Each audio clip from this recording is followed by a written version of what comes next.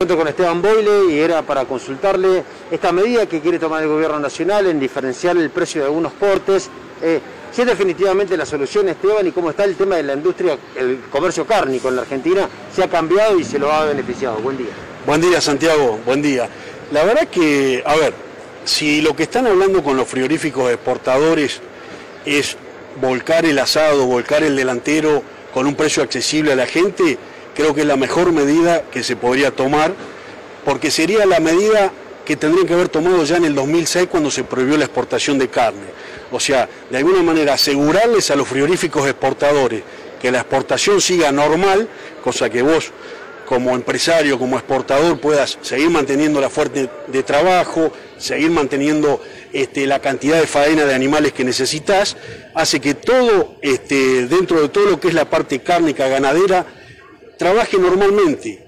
Cuando vos cerrás uno de los nichos, haces un gran problema, que es lo que pasó en aquel momento. O sea que eso es una muy buena medida. Ahora, si vos me preguntás, ¿por qué sigue subiendo el precio de la carne si la gente no llega esto lo otro? Es una cuestión de oferta y demanda, Santiago. Acá el año pasado, en el semestre del año pasado, se perdió mucha plata, el filotero sobre todo, que es el engordador natural para la hacienda que va con destino a consumo. ¿Qué pasó? Tenía que comprar invernada más cara de lo que vendía el gordo, mucho más cara, precio de maíz que estaba caro también, la ecuación le daba que por cada animal que engordaba se perdía entre 7 mil y 10 mil pesos. ¿Qué pasó?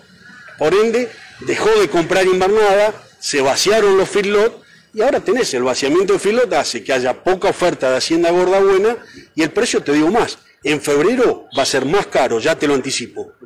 Esteban, ¿y en cuánto benefició, por ejemplo, a la carne de cerdo, pollo, que el mercado estaba dándole una vuelta por ahí como para paliar un poco estos aumentos de la carne? Bueno, en eso ya cambió inclusive en la dieta de todos los argentinos.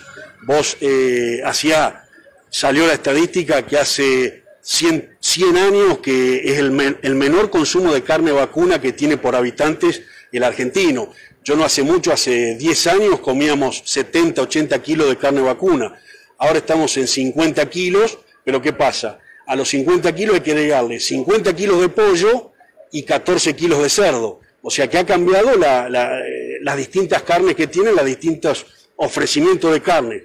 Por eso ves que se ha desarrollado, por ejemplo, en la, industria aviar, la cantidad de, lugares donde engordan esos este, pollos que van sacando en cantidad como si fuera el feedlot de Hacienda y hace que realmente haya distinta distribución para distintos gustos. ¿Cómo estamos en comparación al precio internacional, Esteban, de la carne?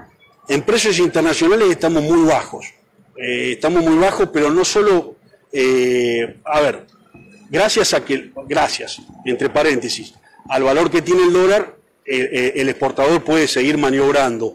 Pero internacionalmente, imagínate vos, para que tengas una idea, la cuota Hilton, que es la, el corte premium que se vende en la comunidad europea, llegó a valer 14, 15 mil dólares, hoy está en 7 mil 500 dólares la tonelada.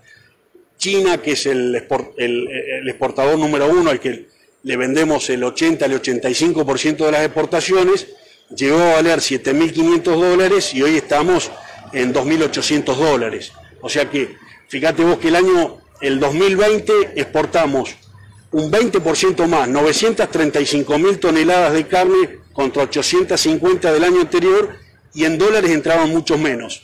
Ahí te das cuenta, pero bueno, es la pandemia que hoy ha cambiado hasta el régimen de vida, los restaurantes han cerrado, esto, lo otro, así que de alguna manera es difícil la recomposición. ¿Temen, Esteban, que el gobierno empiece a tomar medidas como por ejemplo fue esta disputa nuevamente con la exportación de maíz, con algunos otros granos, que también tenga el rebote para, para la industria cárnica? Espero que no, Espero que no, Santiago, ¿sabes por qué? Porque sería, sería romper el molde de algo que está hecho y que lo necesitamos y que beneficia al pueblo. Eso es un error, eso es lo que quiero que, que, se sepa, pero creo que el gobierno lo está entendiendo porque ya estoy escuchando que se ha reunido con los exportadores. Lo más inteligente que puede hacer el gobierno es reunirse con los cuatro o cinco más grandes exportadores de Argentina, clavarle la línea, decirle, bueno, yo no te cierro la exportación, pero vos me largás asado a 300, 350, 400 pesos para que la gente pueda seguir con el asado. La cultura nuestra cuál es? El asadito del domingo. Así que tratemos de que eso siga porque sería romper el molde. Lo del maíz, eh, sinceramente Santiago fue una mojada de oreja porque no, no le beneficiaba a nadie tampoco. O sea, bueno, ya lo habrán explicado muchos este, ruralistas y, de las gremialistas agropecuarias que, que, te lo vienen diciendo. Pero no solo eso, que lo entienda la gente. No cambian nada esa medida que tocaban de no exportar maíz, sino que perjudicaba al país porque entraban menos divisas.